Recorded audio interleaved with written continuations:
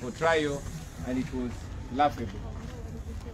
Ladies and gentlemen, we invited you here today to inform you about our decision on uh, election petition number one 2021 where I am challenging the purported victory of General Museveni.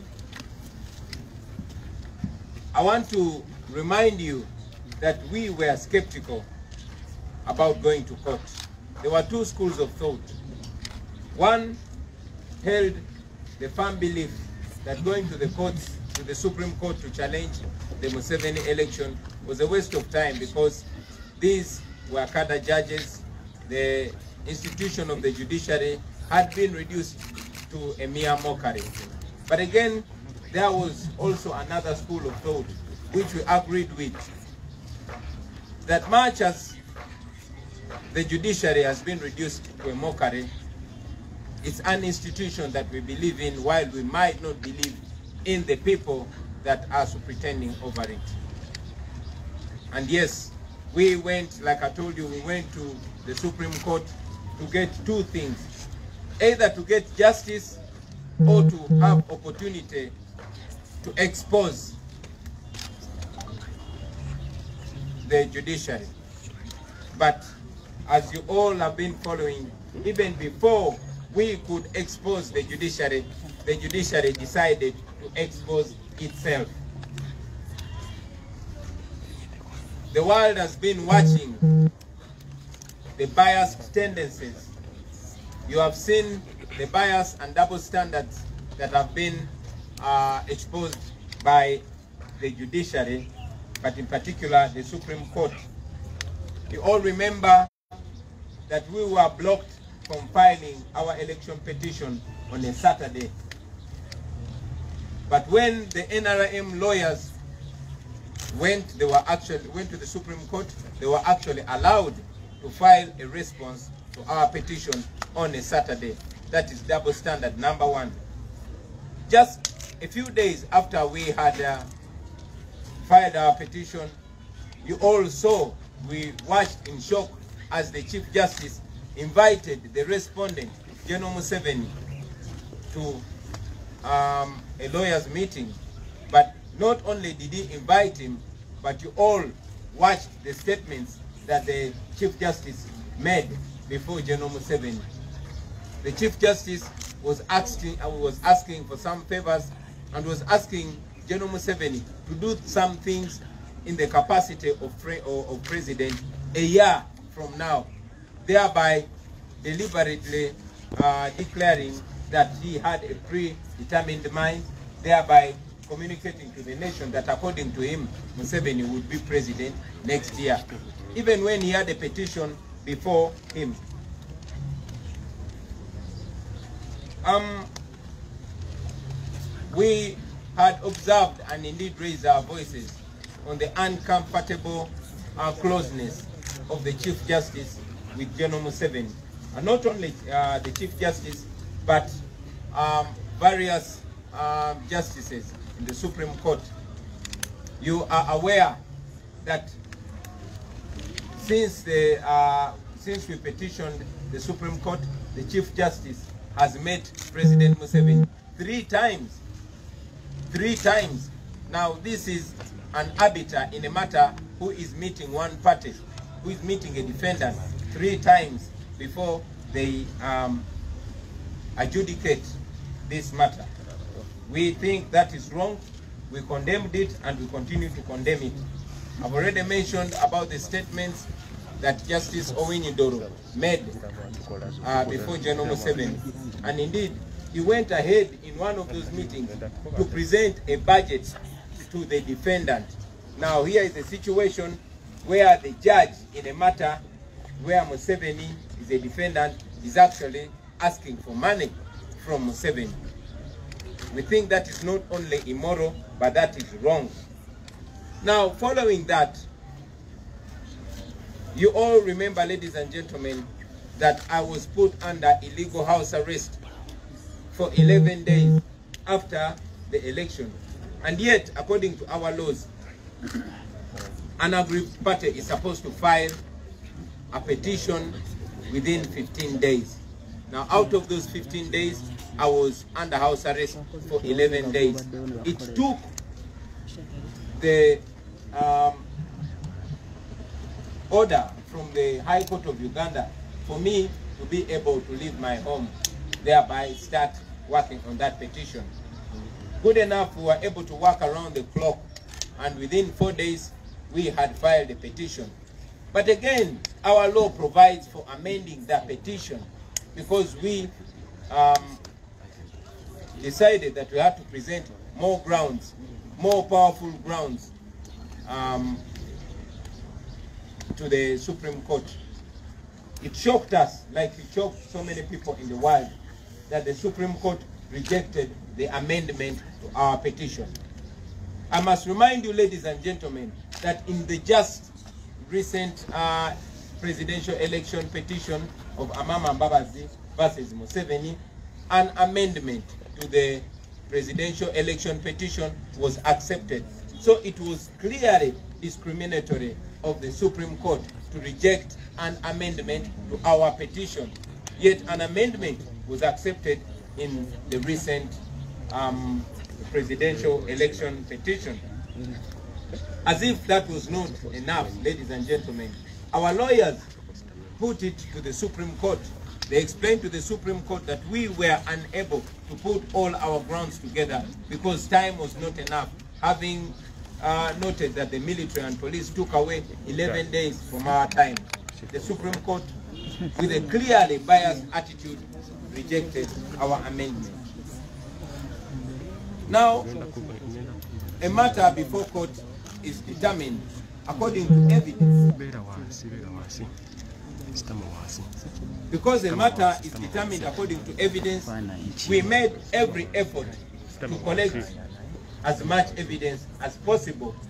Even amid this difficulty, you are all aware that many of our uh, election ob- observers as national interplatforms, many of our polling agents were arrested and others were and continue to be on the run. Many of them are in prison. Many of them have been abducted by the police and the military, and we don't know where they are. And yes, very many of them are on the run. So amidst those challenges, we were still able to put together that evidence, well knowing that in the past presidential election petitions, for example, one of 2001 and one of 2006 uh, of Dr. Kizza Besigye versus Museveni, evidence was continuously admitted in the court all through the hearing. But guess what? When we took our supreme our evidence to the Supreme Court, even before the hearing, the Supreme Court in an unprecedented manner rejected our evidence. We are convinced that the Supreme Court has a, a predetermined mind. They want to rule that we lost this petition because we did not uh, adduce enough evidence. But here is the Supreme Court rejecting evidence. And among the evidence that was rejected was an affidavit by our Secretary General, was an affidavit by um, a, a comrade called Kalundi Serumaga of a video which was putting everything clear to the Supreme Court. Videos of the military ballot stuffing, videos of uh, uh, pre-ticked ballots being ticked by the police and the military, videos of places, especially in western Uganda, where voting did not take place at all, videos of, uh, you know, contradicting uh, um, declaration forms. All that was rejected. Among the evidence that was rejected were declaration forms from places like Chiru, like where there was a claim that 100% of the people, including the dead and those that had shifted from the uh, uh, those areas, were actually available on the day of election. But most interestingly, there is a place called Rwaweba in Gomba. Now Rwaweba is in Wiyanja. My father, the late J.W. Sentamo, has a farm there, and we have a family there.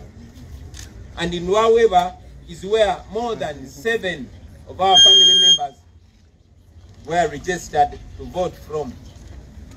Now those seven did not vote because some had been arrested, others had fled because they were, they were wanted, and some were two women who were very, very pregnant and did not show up to uh, the polling station. However, interestingly, at the Rua Weber polling station, the voter turnout was 100%. Now, because that evidence was too strong and it would make it impossible for the Supreme Court, for Chief Justice Owini Doro and these people to twist the case, they uncharacteristically rejected that evidence. Up to now, we don't understand why they rejected that evidence. We brought that evidence. At first, it was rejected by the registrar, but because we know that it was within the law for us to bring evidence, um, and uh, there was precedence to that, because uh, Dr. Kiza Besige had brought in evidence way through the hearing. Our evidence was rejected. And they, did- they, they did not give any substantial reason. So, ladies and gentlemen, well knowing that uh, even while we were petitioning, this office continued to be under lock and key, courtesy of Uganda Police and the military. Even when we petitioned the High Court of Uganda to order the military and police to leave this our office like it had ordered them to leave my home so that we could pick evidence from this our office. The High Court did not assist us. Up to now, they've not ruled on that matter. The pieces of evidence that were rejected were way beyond 200, which is very, very clear that the judiciary, the Supreme Court, is not intending to give us justice in this matter. Now, one very disturbing thing is that in the 2016 uh, presidential election petition of Amama Mbabazi versus Museveni, even when by then the days of hearing and determining the case were 30 days, they were given over a week of submissions. But guess what? The Supreme Court said we could only submit in this, our petition, for 30 minutes. Only 30 minutes. I want you to imagine us being able to make our case, to bring all these details together in only 30 minutes. Now that was clear. One, the Supreme Court did not want this matter attract so much attention. Because this is a matter of very high uh, public interest, they did not want the public to, you know, pay so much attention. They did not want to expose themselves. But unfortunately, they ended up exposing themselves even much more bare.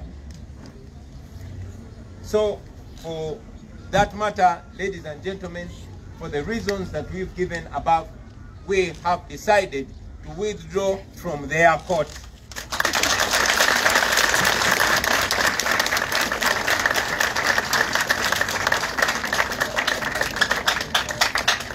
It is clear that Mr. Alfonso Owinyi-Dolo and the, uh, the members of his court are not interested in giving Ugandans uh, justice. No, they are not. I want to read you a small, um, I want to read you a small uh, quote in a book written by Yoweri Museveni and his friend after the 1980 elections. Now this is Museveni writing.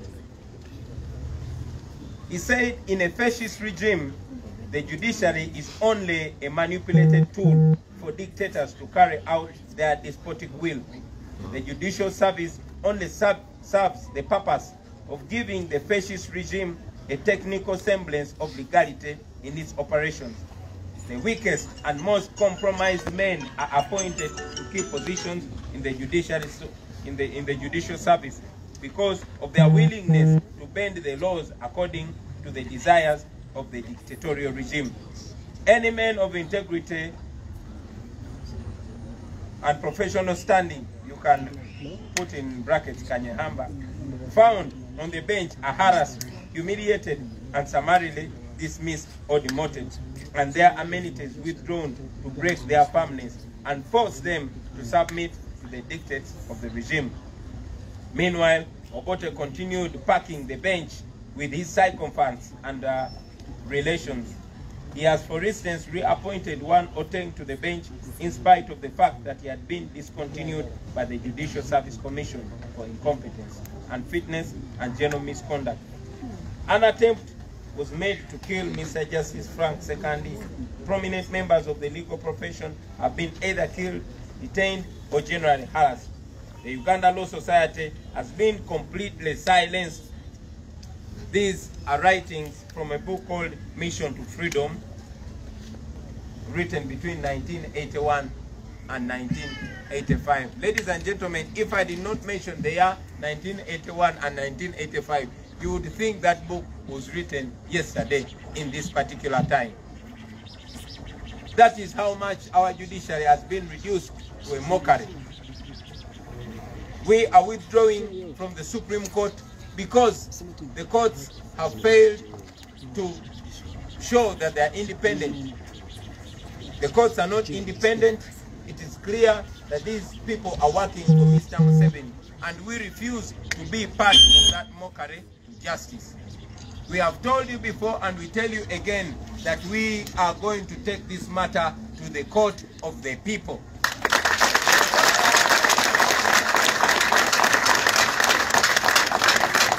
We have told you before and we are telling you again that the people of Uganda are going to have the final say in matters concerning their destiny.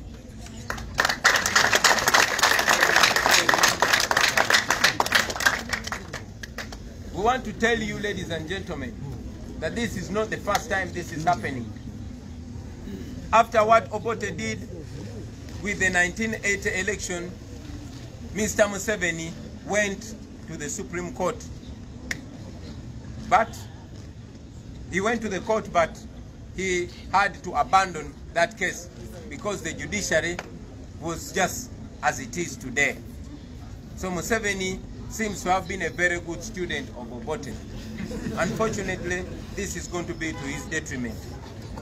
To differ from Museveni, we are not violent people. We are withdrawing from the court, but we are not opting for violence. We are going to the court of public opinion, we are going to the court of the people of Uganda, and we shall be informing the people of Uganda our next steps.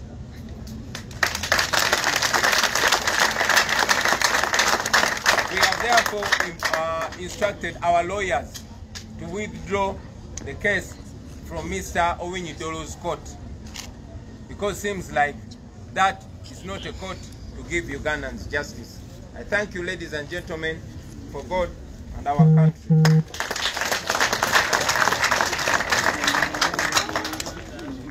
Ne mu Luganda?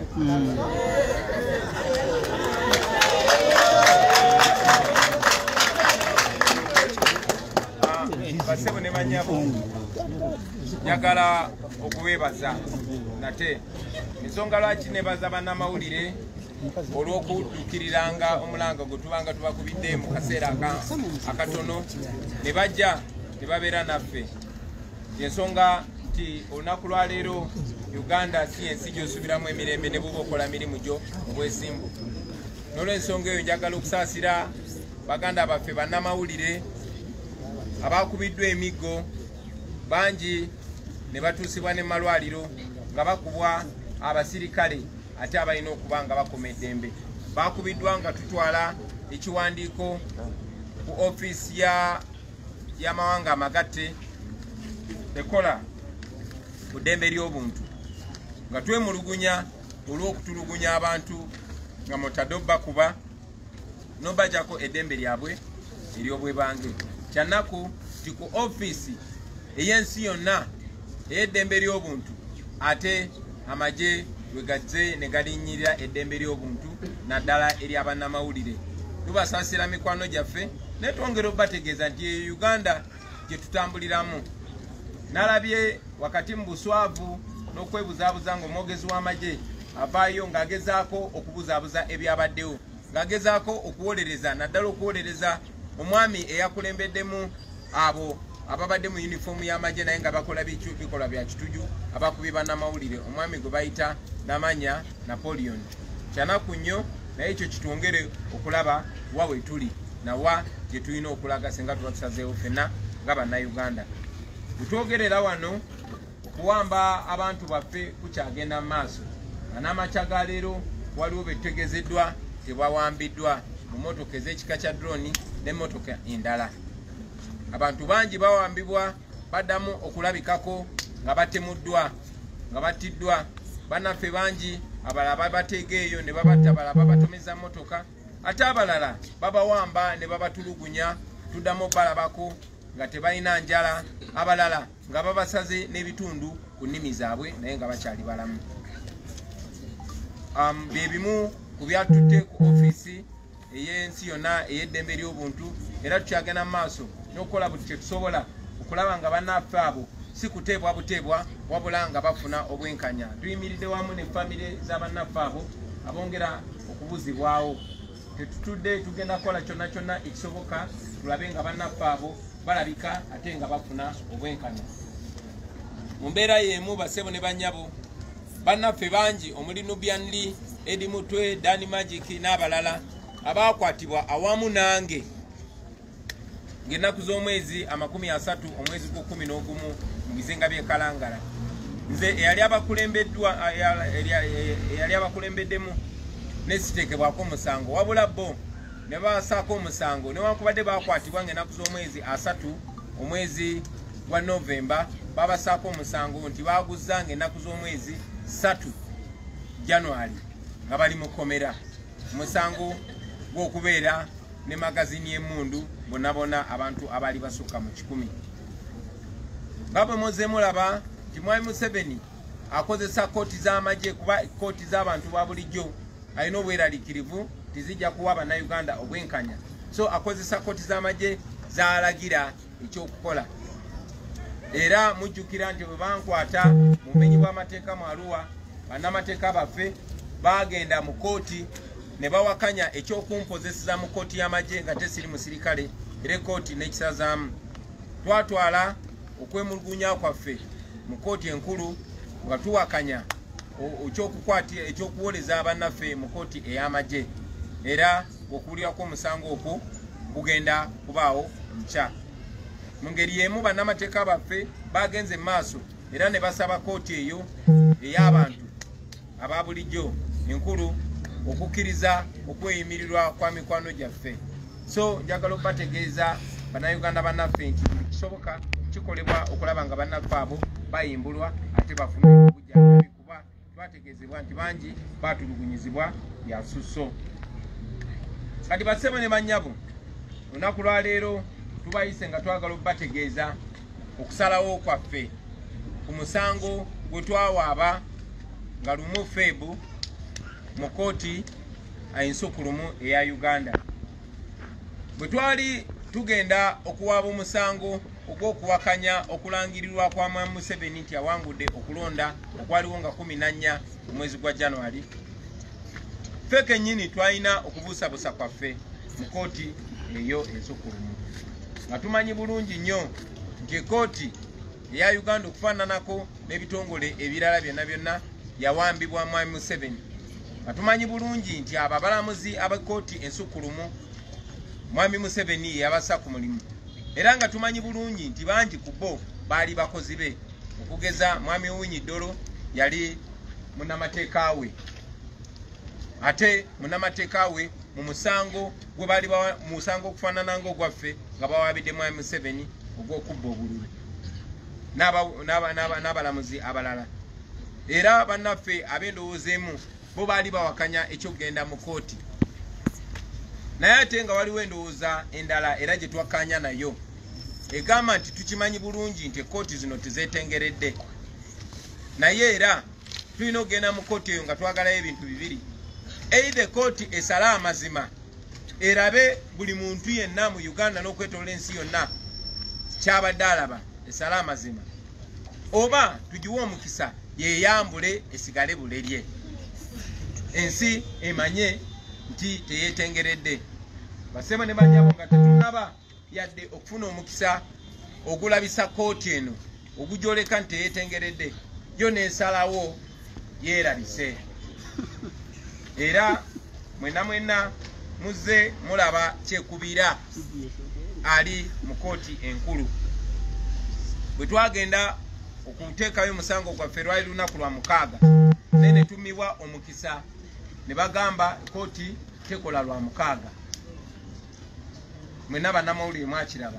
Naye ate bannamateeka ba nrm bwe bagenda okussaayo empoza yaabwe oba okutwanukula bagenda lwa mukaaga ekooti yayagala n'okufukamira ng'eyaniriza okwewozaako kwabwe. Ekyo kekali akabonero akasooka akalaga nti ekooti yeekubira. Naye tebakomaawo mwalaba Saabala- saabalamuzi w'eggwanga mwami alphonse owinyidolo nga ayina okuwaaba kwaffe ku mmeeza ye ng'alina omusango gwaffe ku mmeeza ye yagenda maaso n'ayita omuntu gwe twawaabidde. Alina okuba nga yeewozaako mu maaso ge n'amuyita ku mukolo teyakoma kumuyita ku mukolo n'abaako ebigambo byayogera. Mu bigambo ebyo yali asaba mwami museveni abeeko byakola nga ga pulezidenti omwaka ogujja gwe kuba akafaananyi omulamuzi gw'otwalidde okuwaabakwo nga yagenda okusala omusango naye ng'asaba gw'owaabidde. Era ng'omutegeeza nti yewaŋŋamiza ku bwa pulezidenti mu bukyamu nga gw'osaba asale omusango nti ono si pulezidenti naye ate nga omulamuzi alina okusala omusango ogwo ali mu kusaba omuwawaabirwa abeeko byakola nga pulezidenti omwaka ogujja ng'alinga agamba nti omusango yagusaze dda mwami museveni ye mu ndowooza ya mwami y'owinyidolo yagenda okubeera pulezidenti mu mwaka oguddako.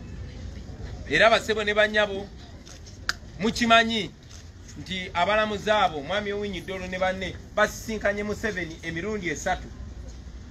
Kati egyo emirundi esatu gye bakkiriza bokka mu kiwandiiko kyabwe oluvannyuma lw'ensi okuvaayo ne bakolokota ekiwandiiko olunaku lwajjo nti basinkanye emirundi esatu ekyo gye batugambyeko naye tulina okukkiriza nti basinkanye mu kyama emirundi mingi nnyo nnyo nnyo Let me say that in English before I proceed.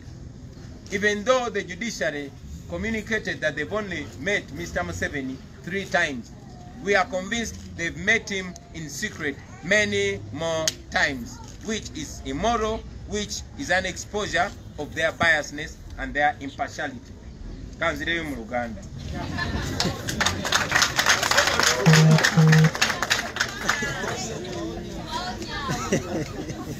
akabonero akalala akalaga nti ekooti eno erina kyekubira basebo ne banyabo mu mateeka ekooti bw'esala mu ngeri emu mu musango gw'omuntu omu esuubirwa okugoberera embeera ze zimu mu musango okufaananira ddala bwe gutyo.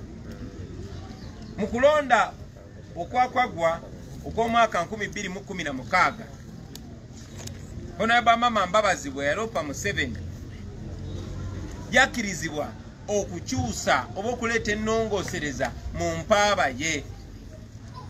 Mwena mujjukira nti nasibibwa mu maka gange nga nsibibwa amagye ne poliisi nga balagirwa mwami museveni okumala ennaku kumi na lumu ng'ate amateeka gaffe gampa ennaku kumi na ttaano okuwaaba omusango mu kooti ensukulumu eya uganda. Naye ennaku kumi na lumu nazimala ndi musibe. Bwe navaayo nayina ennaku nnya zokka okwatagana ne bannamateeka baffe okuwaaba omusango. Twakikola ekyo? Mu budde obwo naye nga tumanyi nti amateeka gatukkiriza okuleeta ennongoosereza okuleeta ensonga endala ezirina okwesigamibwako ekooti okusazaamu okulonda okwo. Ng'emu ku nsonga yali nti mwami museveni yali tasaanidde mu mateeka kwesimbawo kyewuunyisa nnyo buli muntu abamanyi amateeka n'ababadde bagagoberera. Okulaba nga ekooti ensukulumu ekulembeddwa mwami winyiddolo yatugaana okuleeta ennongosereza mu busango bwaffe ng'amaama mbabazi ekooti y'emu yamukkiriza naye ffe netugaana mwana wattu netewana ensonga. Netugamba tuganye okuleeta ennongosereza yammwe naye tujja bbawo ensonga oluvannyuma. Balabika ensonga eyo bakyagiyiiya paka kati. Ekyo nno tekyakomaawo mikwano gyange. Olredi tubategeezezza nti ebimu ku byatulwisa twali kubeera nga tuli basibe ekooti ensukulumu eyo negamba bwe muba mwagala okuleeta ebintu ebyenjawulo mujja bireeteramu evidence. Kakati oba mujja bireeteramu bujulizi. Tubadde n'akaseera akazibu okuŋŋaanya obujulizi bwaffe nga bwe mumanyi nti bannaffe ba polling agent ba agent abaali batukiikirira mu bifo bingi ebyokulonda abamu bakwatibwa ng'okulonda tekunabaawo abalala ne bakwatibwa mu kulonda kwennyini. Abalala ne bakwatibwa ng'okulonda kwakaggwa abalala bakyanoonyezebwa era balira ku nsiko. Kubanga buli agenti waffe baali bamunoonya ne bamukwata ne bamugjako declaration form zaffe. Muganda waffe gwe bayita kagimu naku bbiri emabega. Yakava mukomera bamukwata ne bagenda ne bamutulugunyiza ku cmi ne bamugjayo ne bamusibira emakindye nga talina musango kubanga yali alina dr form zaffe. So kyatubeerera kizibu nnyo okuŋŋaanya abajulizi baffe. Naye era mu bugubi obw'ekitalo abajulizi twabakuŋŋaanya. Ebbanga eryo lyonna lyonna nga ofiisi yaffe eno nzigale ng'eriko poliisi n'amagye. Ekooti y'emu eyalagira poliisi n'amagye okuva ewange yekooti emu gye twasaba eragire poliisi n'amagye bave ku ofiisi yaffe eno tusobole okujja obujulizi mu ofiisi yaffe tubutwale mu kooti ngaobudde bukyali. Ekooti teyabalagira paka kati. Naye benyula bwenyuzi bwe bawulira nti kooti kati esazeewo obutatwala bujulizi bwaffe nabo ne bavaawo nga balabanga missoni yaabwe etuukiridde. Basebo ne banyabo njagala obategeeza nti obujulizi bwe tulina oba bwe twatute mu kooti bwe twatwala mu kooti regisita wa kooti ensukulumu yasooka n'abugaana nekitwetagisa nakola application. Tusabe kooti ekkiriza obujulizi bwaffe obwo.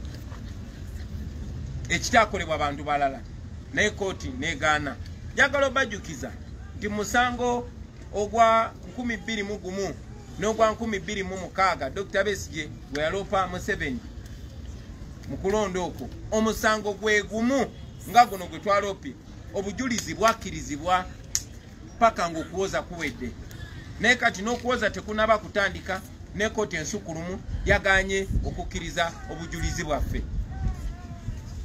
Tukkiriza nti ekooti eyo engeri gyerina kyekubira engeri gyekirikirya kati gyebakolera mwami museveni bateekateeka okuwa ensala yaabwe nti aba nup omusango gwe mwalopa gugobeddwa kubanga temwalese bujulizi bumala.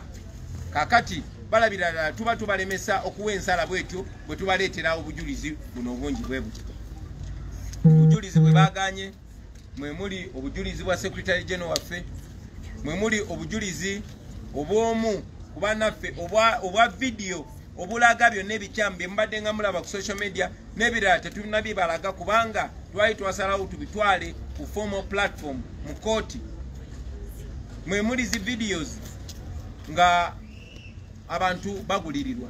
Mwe muli zi videos nga poliisi n'amagye batikinga obululu bwa mwami museveni. Mwe muli zi videos ng'abantu baganibwa okulonda. Mwe muli zi videos ng'aba polling agent baffe bagibwawo uh, ku polling stations. Mwe muli videos ez'obululu obutiikinge ne videos endala nyingi nnyo.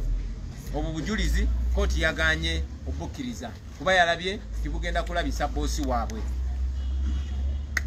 mu bujulizi bwe twabadde tutwalidde kooti ensukulumu mwe muli obujulizi nga bwe mubadde mubuulira obw'ebitundu akakiiko k'ebyokulonda bwe kagamba nti ebitundu ebimu bya abantu kikumi ku kikumi balonda bonna abeewandiisa tibavaayo ne balonda omuli abo abaafa omuli abo abasenguka n'abalala. Tulina abajulizi ne affidavits eziraga nti byali bya bulimba njabawaayo okugeza kuwa mulundi gumu ewaffe egomba waliwo ekyalo bakiyita lwaweeba.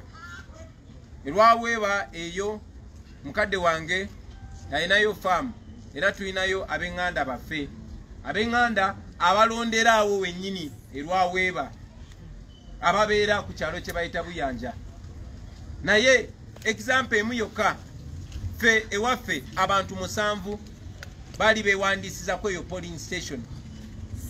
Mwabo abantu musanvu bana ku bo badduka nga batya obakwata kuba baali babanoonya.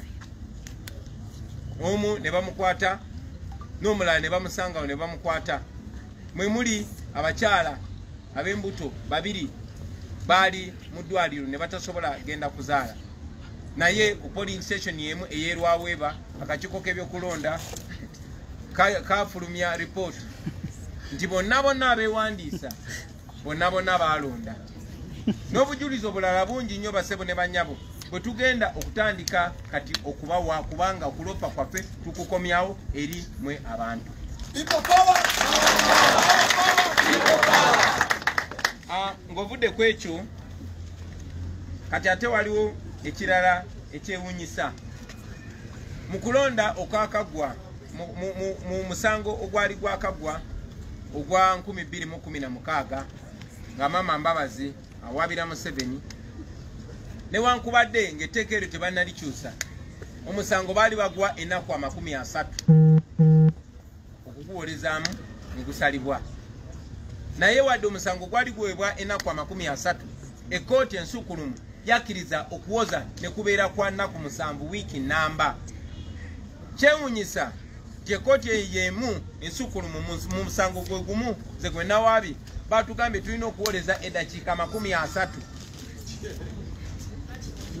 Ekyo kiraga nti ekkooti ensukkulumu teyagala bannayuganda bagoberere musango teyagala kugirabisa teyagala mazima agalabike eyagala tubiwandike buwandiisi byonna byonna bibeere mu nzikiza nga mwami museveni era bwe yakola n'ajjako intaneti ng'ayagala ebyokulonda bibeere mu nzikiza ne kooti ensukkulumu ng'eyagala byonna bibeere mu nzikiza. Fenno nga national unity platform twasazeewo nti tetugenda kwetaba mu oyo vulugu tetugenda kwetaba mu kubuzaabuza bannayuganda tetugenda kwetaba mu kabadi kaabwe ne mwami museveni okubuzaabuza bannayuganda n'olwensonga ezo zetubawadde basebo ne banyabo twasazeewo omusango tugugyeyo mu kooti yaabwe tuguze mu kooti y'abantu.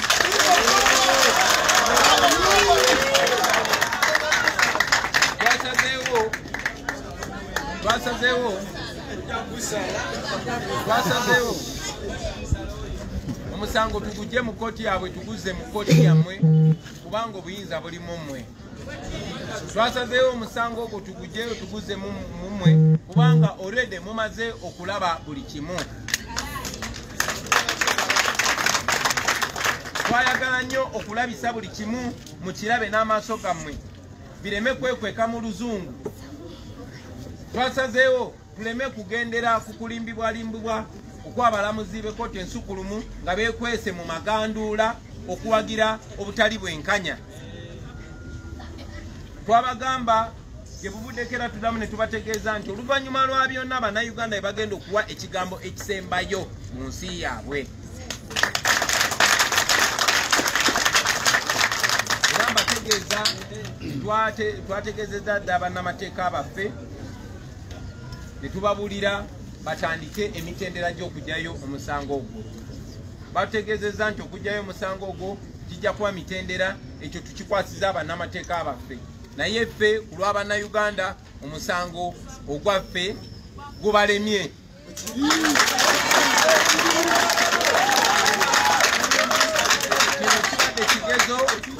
Kino kibadde kigezo ng'akakiiko k'ebyokulonda bwe kagwa kino ekigezo ne kooti ensukkulumu nayo egudde kino ekigezo. Era omusango gwaffe tugenda kuguwaaba eri mmwe bannayuganda. Era bwe tumala okugyayo obujulizi bwaffe bwonna ekooti eba terina we tugambira mbu ate ensonga eziri mu kooti tozibuulira abantu byonna tugenda birabisa maaso gammwe.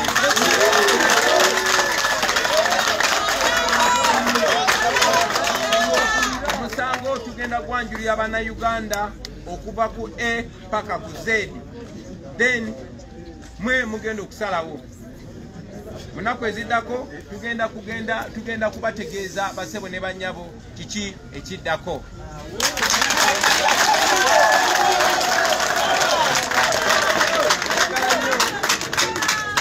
Njagala nnyo okubajjukiza basebo ne banyabo nti wano we tuli si gwe mulundi ogusoose. Emyaka amakumi ana egiyise mu mwaka gwa kinaana nga bwe tubisoma mu byafaayo ng'obote amaze okukola nga museveni kyeyakoze ekyenjawulo nti ate ye museveni yamusinzeeko okikozesa obuswavu n'obutaba na nsonyi. Mwami museveni yagenda mu kooti n'awaaba. Era bwe yalaba tafuna bwenkanya omusango yagulekayo mu kooti n'agenda mu nsiko. Ffe twagala okubategeeza nti tulina obuntu bulamu tuli decent okusinga museveni tugugyeyo mu butongole. Era omusango guno tusazeewo tugutwale mu bantu mu butongole.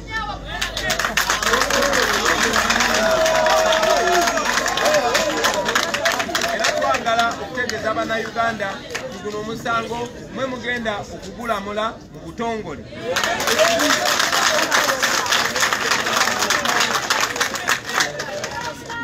nga bwe tubadde tufuba basebo ne banyabo okumakinga sure buli mutendera mugutegeera nga bwe tufubye mu prosesi y'okulonda yonna buli kimu ne mukitegeera era tewakyali akyasobola balimba kati nti museveni teyabba. Tewali akyasobola balimba kati ti akakiiko k'ebyokulonda akali tekeetengeredde era tekagoberera mazima. Mu mbeera y'emu saawa zino mukiraba naye twagala okuyita mu buli butendera nga tubalaga siteepu ku siteepu nga ekooti ensukkulumu eya mwami owinyiddolo bwe talina kigendererwa n'omulundi n'ogumu kusala mazima okuba kuwa bannayuganda bwenkanya. Tugenda buli bujulizi okububanjulira step by step nga tumaze okubugjayo mu kooti yaabwe. Bwe tumala abasebo ne banyabo tugenda bategeeza kiki kye tulowooza ekirina okuddako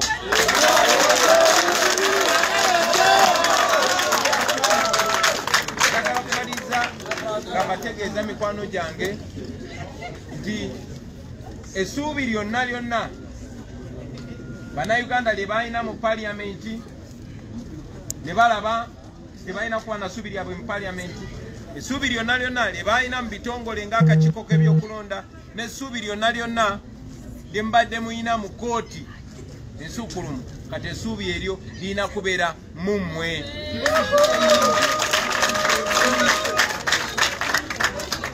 buli lunaku oluyitawo buli saawa eyitawo egenda ebalaga nga bwe mulina okwebereramu nga bwe tulina okwebereramu ffe nga bannayuganda. Mayi museveni nga bwe yakyogerako mu myaka gy'ekinaana nti obote kyeyakola kwe kunafuya ekooti n'afuna ba yesman oba abalebeesibe ne baba nga bateeka mu bifo ebyokusala emisango. Era abo bonna bonna abeemalirira n'agenda nga bajja mu bifo ebyobuvunaanyizibwa. Ekyo nno bwe kiri ne ku mulundi guno basebo ne bannyabo n'olw'ensonga eyo essuubi liri mu mmwe. Twagadde obategeeza mukimanye olwaleero nti ekooti ya mwami owinyiddolo ne banne tugimulekedde.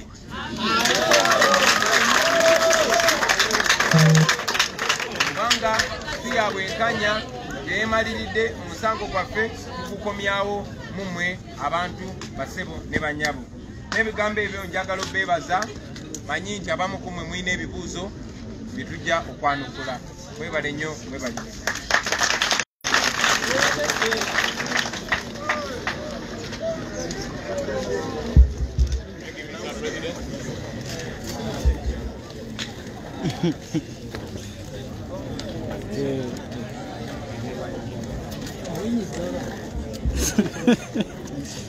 ng'owinyiddolo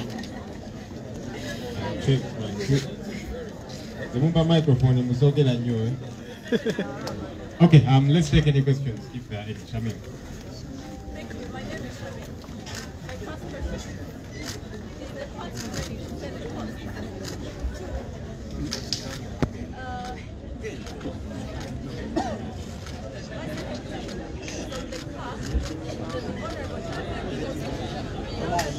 The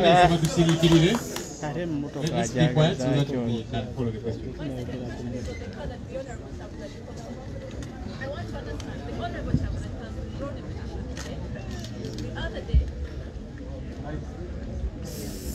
Okay, the Honorable Chaplain has withdrawn a petition today. The other day he posted a car, a car that is armored. Yeah? We want to understand what exactly that is. I, I don't understand. Are you saying there's a relationship between withdrawing and the car? Uh, because you see, the, the, the car came on the email.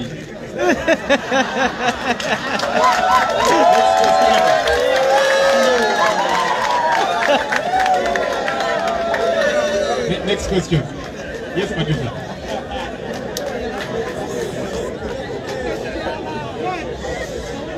Совет среднего веков.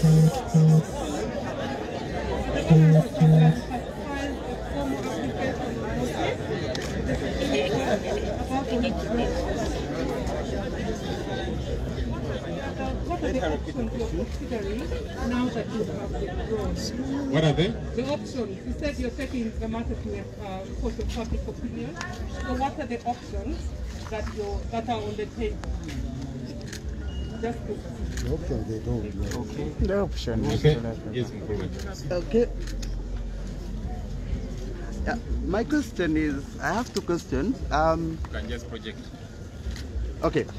Uh, the first question is, part of the, the, the, the, the reason why you've been losing these cases in court is that your lawyers have been You said failing. part of the reason we have been losing these cases. the Yes, time no, the, no, no, the reason, uh, no, because there were two applications that have been lost in, in that court so far. One of them is that your lawyers failed to present the evidence in the time they argued in court, and they were in court when these timelines were being given. Do they also take a part of the blame for what has happened to your case in court? Failure to, you know, to act as court has directed.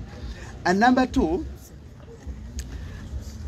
my, my other question is, um, uh, Honorable Chagulanyi, the other day the Chief Justice was, was in court and was saying uh, that you knew exactly that you didn't want to proceed with court, but you wanted to come and play some gymnastics in his court, yet you knew you had plan B. Why wouldn't you first proceed with what he called plan B before going to play gymnastics in his court?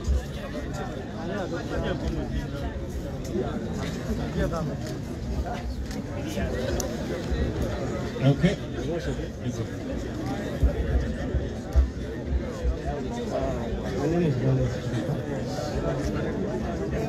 Yes, sir.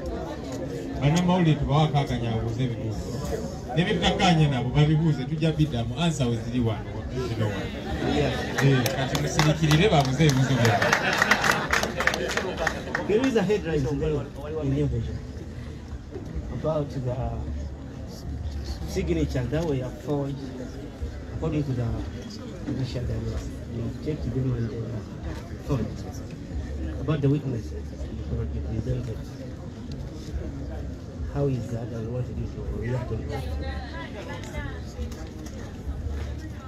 Okay, Charles. Yes, my name is Charles Mugura from CBS. Uh, two questions. One, what is the fate of uh, the, the elected MPs and the local government people? Thank you. My name is Charles Mugabachi from CBS. What is the fate of the elected no people?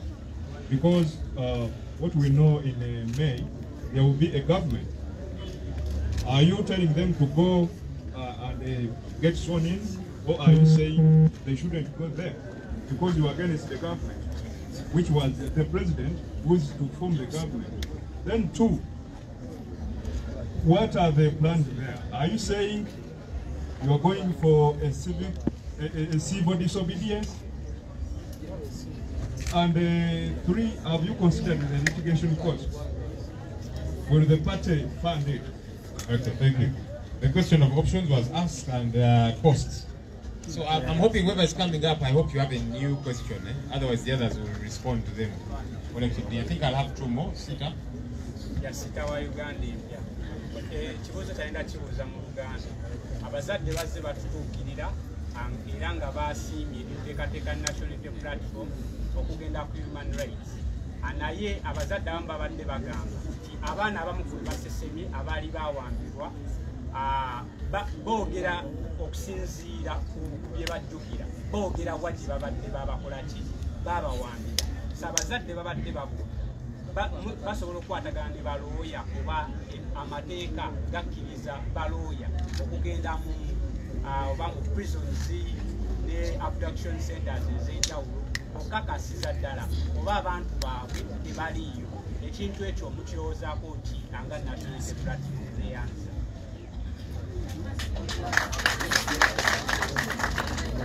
neyanza nnyo nze frank kukola n'olujjuliro komaffe pulezidenti atutegeezezza nti omusango guvuddeyo alina pulaani ki? Kuba luli yatutegeezaako nti asuubira ng'okulonda kunatera okubaawo bajja kukola abcd era ne babikola. Ku luno pulezidenti olowooza embeera eno teddemu kubaawo nga okusibira mu nju n'ebirala era weeteeseteese otya ekyokubiri nga eyakava mu komera kuba naakavaayo ennaku bbiri emabega drone yakwata. Uh, mr president abaana bangi naddala aba national unity platform abawagizi baffe bakyali eyo naye kyagala kwefaananyirizaako ngaekyasiita nti tulinawo pulaani yonna okukonfaminga omuwendo gw'abaana bano nabutya bwe tubayambye.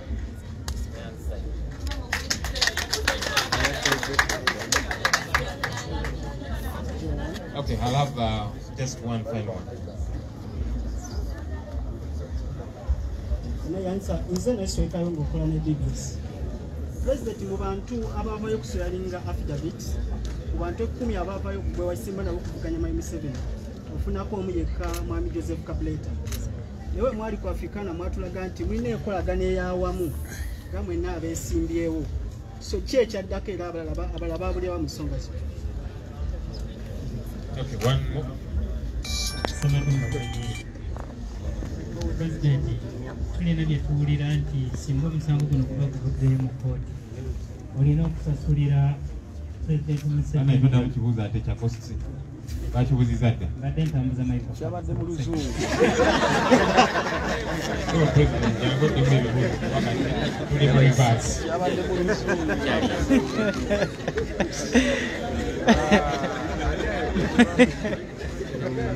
Kyabadde mu luzungu.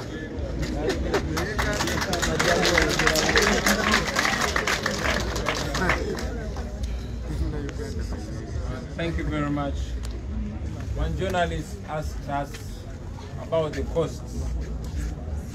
Um, you notice that the NRM lawyers are so excited because they want us to go on with a case that they have rendered lame so that they can have a judgment in their favor.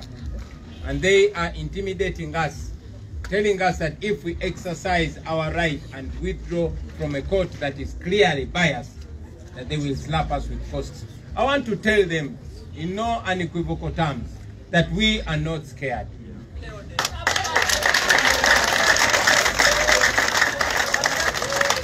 The price that has paid, that has already been paid, is too huge. We buried Frank Senteza. That was the ultimate price. Just a few days, we buried Mulongo Sam. To stand against Museveni, you don't stake your house, you don't stake your money, you stake your life. So just to remind you, Titwatala Afia.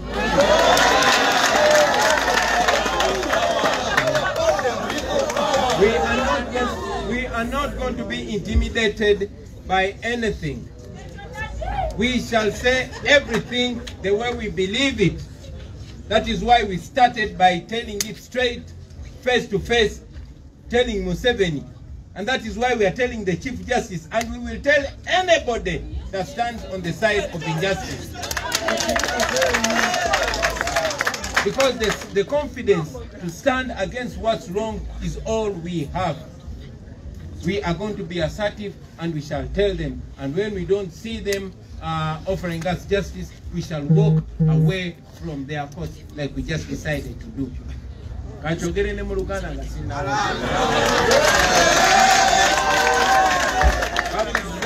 Um, sematimba bwegire kyabadde abuuza abadde bakibuuza dda mu luzungu naye obadde ogezaako kibuuza mu luganda.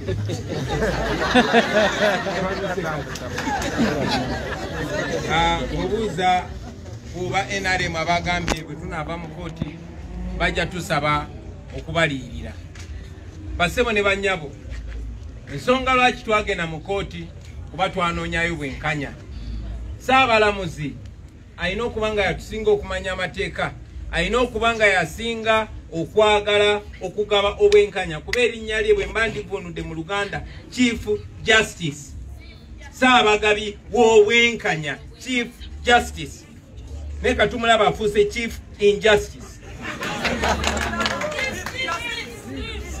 so tetutidde tetutidde kubanga tetulabayo bwenkanya. Omusango gwaffe tusazeyo tusazeyo tugugyeyo tugugyeyo tugugye mu kooti yaabwe tuguze mu kooti ey'abantu. Kiri gye bali tebasooka kutwebuzaako nga batta bannaffe. Tebasooka kutwebuzaako bakwebuza ku mateeka gonna. Wano kiraze nti tebagoberera mateeka. Naye ne bwogenda amateeka gye galina okugobererwa tegagobereddwa. Kale n'olwensonga eyo twetegese kyonna kyonna kye baleeta tuli beetegefu. Njagala okategeeza nti omuwendo gwe bagamba otussaako omuwendo mungi olwedde gusasuddwa. Franka senteza yasasula n'obulamu bwe. Rita nabukenya yasasula n'obulamu bwe yasinika oma yasasula n'obulamu bwe nenaku ntono nnyo twakaziika mulongo sam yasasudde na bulamu bwe. Bwe twasalawo okwaŋŋanga museveni n'obwanakyemalira bwe twamanya nti kuno kutala.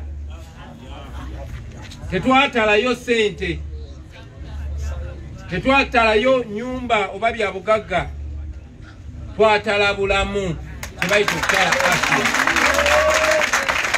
n'olwensonga eyo tuli beeteefuteefu era mwenna bannayuganda tubasaba mutusewo amaaso abiri mutunenkaliriza buli ekigenda okugenda mu maaso njagala kituyambe okumanya baani abatufuga nangeri ki gye batufuga nangeri ki gye bawambye ebitongole bya gavumenti nangeri ki gye bakozesa amateeka mu ngeri emenya amateeka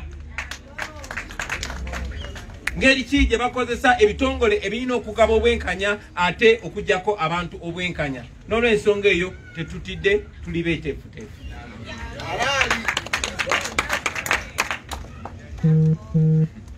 bambuziza ku kyemotoka Lwa- lwaki oleeta diversion? I was asked about a bulletproof car that was gifted to me by our supporters whose names we shall not mention. It is true, ladies and gentlemen, after surviving numerous assassination attempts, after bullets being fired at us, Ugandans here in Uganda, but most importantly, those in the diaspora, gifted us with various uh, items that would help us keep safe, including bulletproof vests and uh, ballistic helmets. I wore some and gave others to the team. We thank them. The same people of Uganda moved a campaign to fundraise and buy a bulletproof car for their president.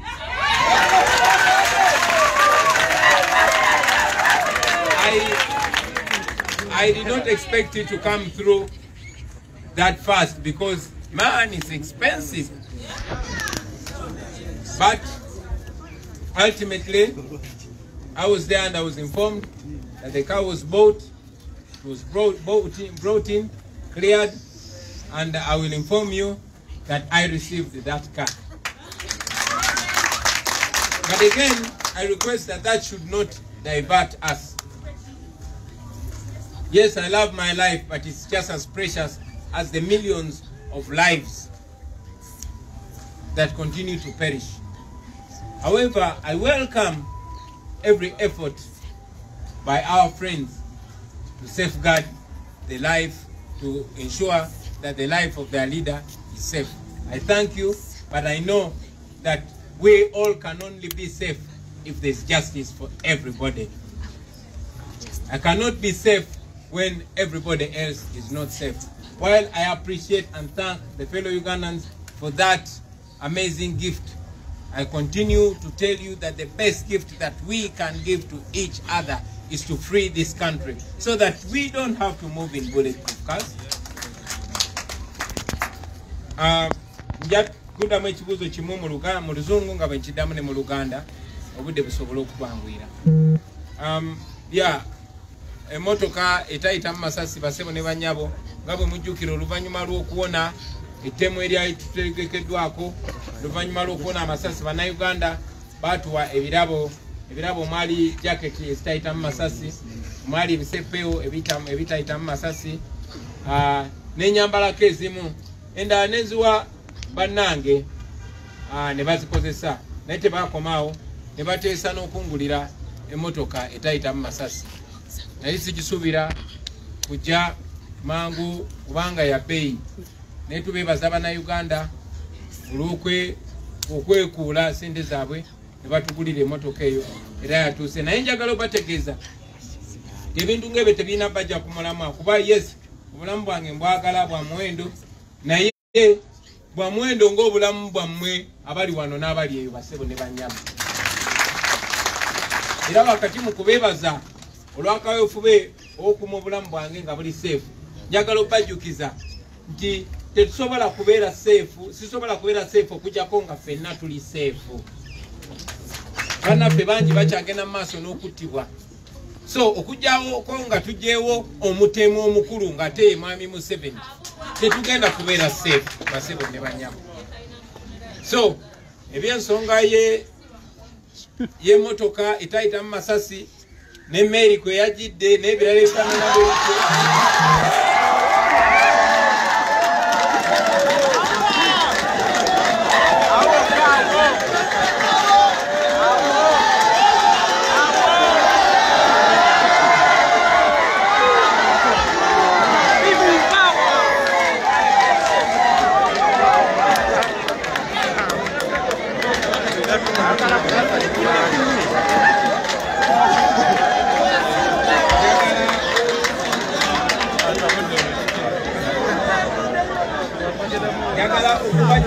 mikwano gyange mwenna.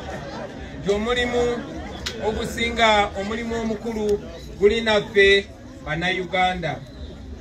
Guli eri mmwe abantu aba bulijjo. Mu abantu be bayita abantu ba wansi yemmwe musinga obukulu mu kaweefube waffe ono. Enkyukakyuka yonna gye twagala ffe tugendo gyetuusaako nga bannayuganda si muntu mulala. Abalala bo bajja kutusanga busanzi.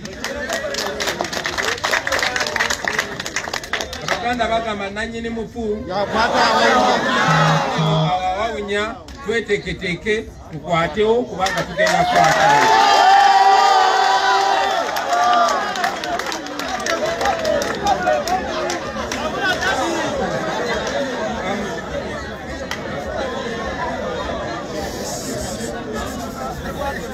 was uh, what are the options or what actions are we going to carry out moving forward.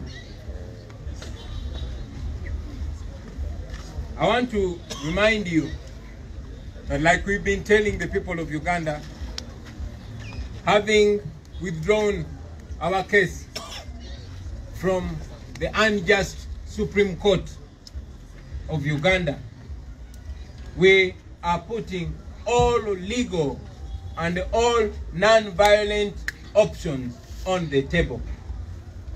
All constitutional, all moral, and all non-violent actions on the table. I want to remind you, ladies and gentlemen, just like we have asserted numerously that we are non-violent.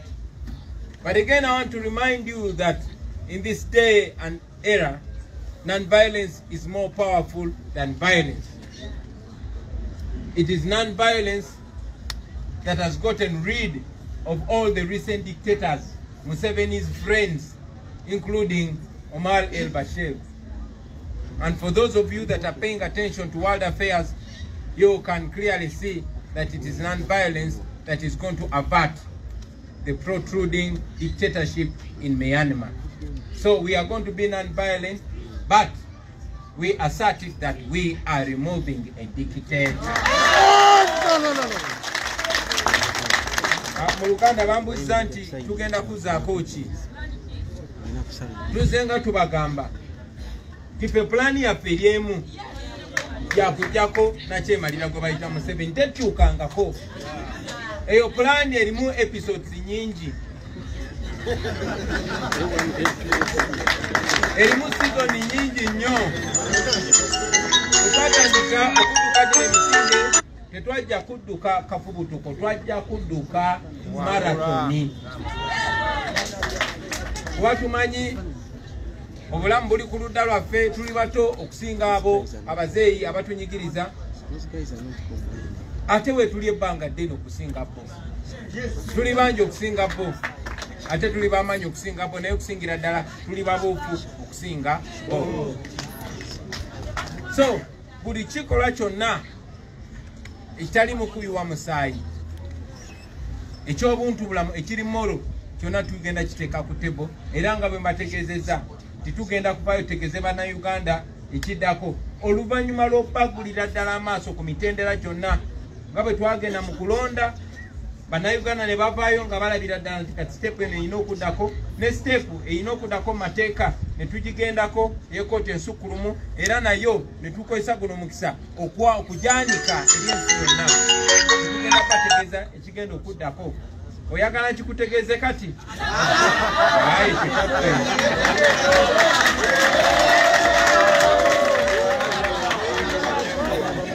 Um, one of the journalists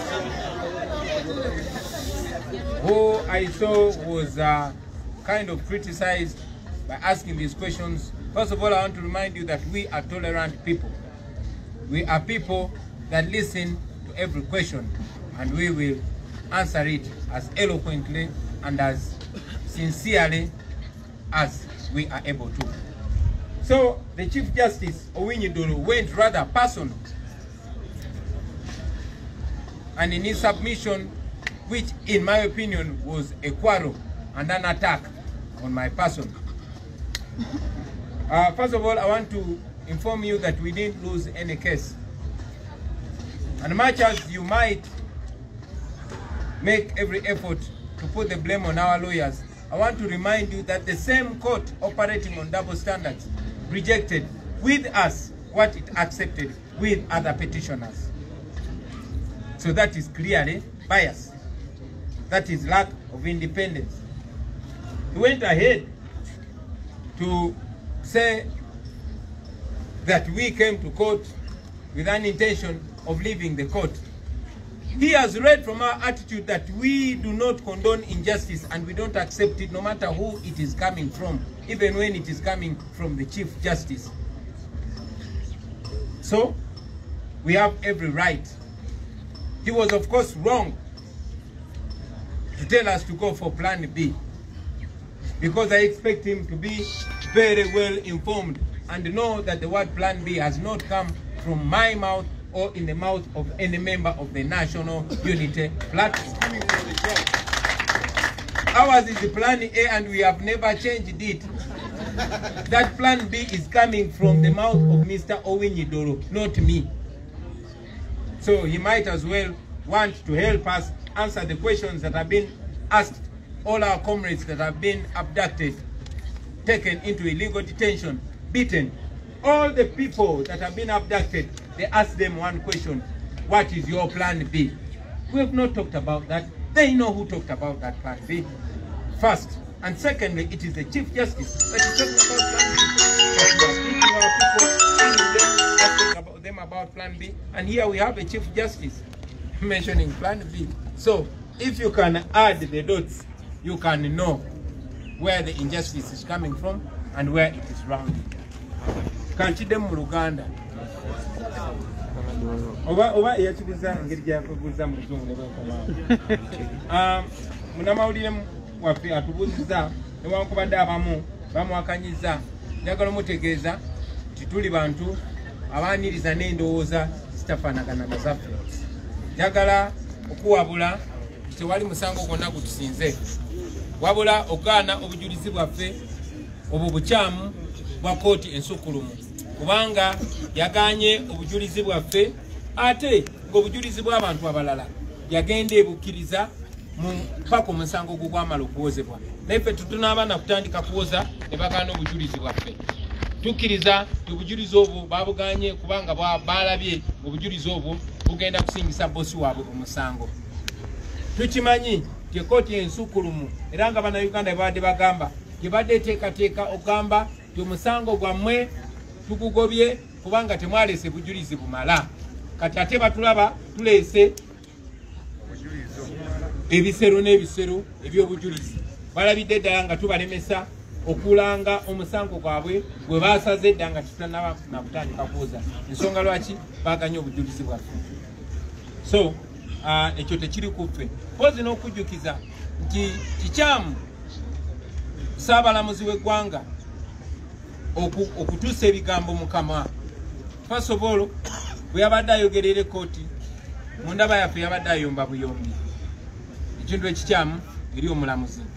Naye ate okusingira ddala n'agamba nti twajja mu kooti nga twagala kuvaayo twategeeza ensi ti ekooti bweneeba nga tesala mazima tujja kugenda mu kooti ey'abantu era tebatulinze nagenda mu kooti y'abantu bondooza tebalabye bukyamu byabye bakola kubanga babimanyidde ne beerabisa. Era ensi yabalabye. Mpozi n'okubajjukiza baganda bange nti bannaffe bonna abo bemulabye bawamba droni beziwamba ne babatwala mu makomera g'amagye ne bamalayo ebbanga wiiki myezi abala babulidde myaka.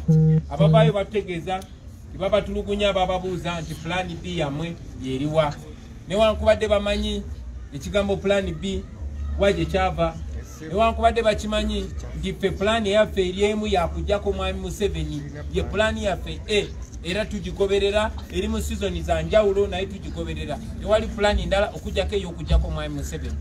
So okulaba nti ate saabalamuzi ate yatubuuza pulaani b atubuuza ebibuuzo byennyini ebibuuzibwa bannaffe nga bali batulugunya ekyo kituleetera ebibuuzo bingi naye nakyo tujagenda tukinoonyereza ekinaaba kyetaaze naye tujja tumutwala mu kooti y'abantu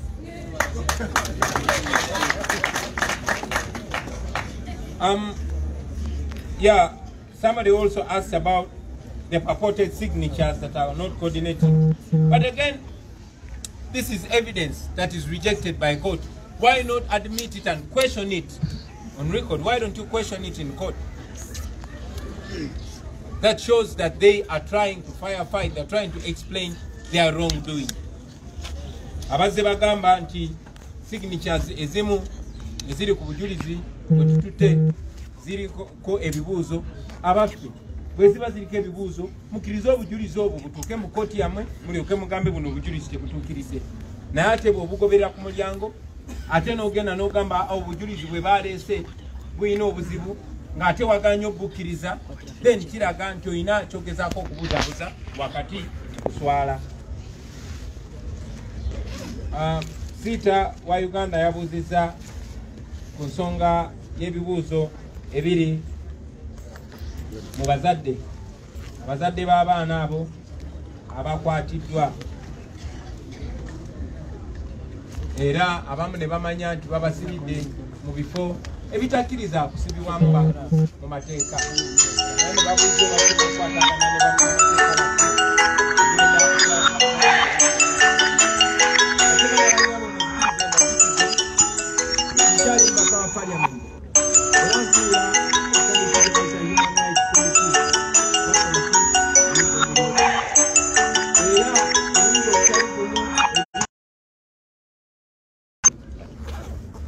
miryango gya safe house ezo.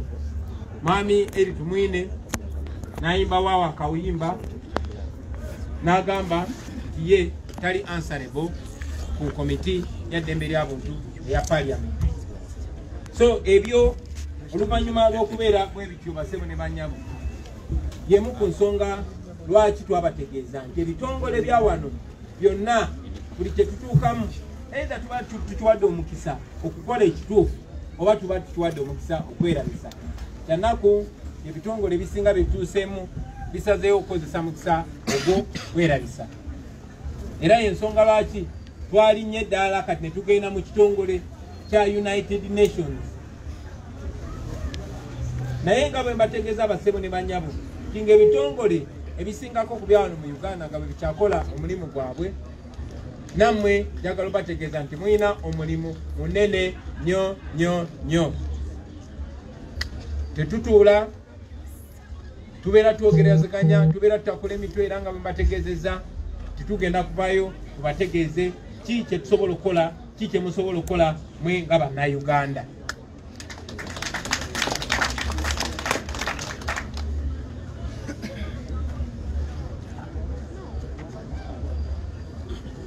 yeah, somebody asked me um, that they saw only one former presidential candidate joining us in this petition. Where are the rest? I want to tell you that we've been in talks with all, okay, not all, but most of uh, the forces of change. And indeed, they have offered what they could. They offered in terms of affidavits and witnesses. And I've just told you that more than 200 our pieces of evidence have been rejected. Among those were some from our fellow opposition members. So they were working with us. They are among the evidence that was rejected. ndowooza ebibuuzo byaffe byanukudde bulungi basebo ne banyama nakubuuziza nti ku bantu kumi omwesimbawo ne mwamusebe okuvuganya mu luganda. ngize mu luzungu. Kankide mu luganda naye ne mu luzungu ne kati kankide mu luganda. Um, twesimbawo abantu bangi. Era tubadde tuwuliziganya ne bannaffe omuli dr. Besije ne tiimu ye eya fdc omwe- muli jeno mugisha muntu n'abalala. Era batuyambye nnyo mu ngeri y'okutuwa obujulizi mu ngeri gy'okutuwa affidavits. N'abantu bangi abajulizi bangi okuva mu ttiimu zaabwe batuwadde obujulizi. Ate obujulizi obw'amaanyi. Obwo bwe bumu ku bujulizi kooti ya mwami owinyidolo bwe yaganye okutwala.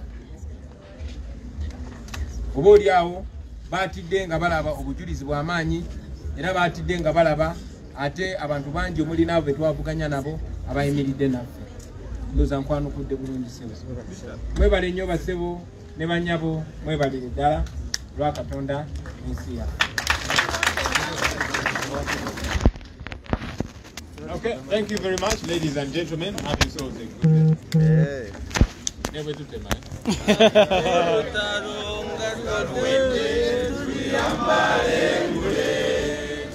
man. Okay.